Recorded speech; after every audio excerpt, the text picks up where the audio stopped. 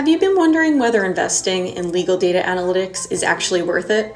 Legal analytics are systems that use big data, machine learning, cognitive computing, and artificial intelligence to sort through huge amounts of data and provide insights to support attorneys in their decision making process. Legal analytics doesn't replace the attorney decision making process but provides attorneys with much more information so they can make decisions based on factual data. For example, legal aids have access to multiple sources of data, including phone systems and case management systems, which can provide valuable insights such as hold times, talk times, call abandonment rates, as well as online intake systems that track abandoned and rejected applications to understand how people are proceeding, or not, through the intake process. Legal analytics software like Westlaw Edge and Lexis Plus can also be used to analyze trends in court cases, judge rulings, and legal outcomes.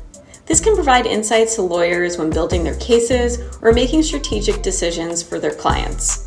In the end, your organization's requirements and objectives will determine whether or not you should invest in legal data analytics. However, adopting this technology can provide a competitive advantage in the legal industry and enable organizations to deliver better services to their clients.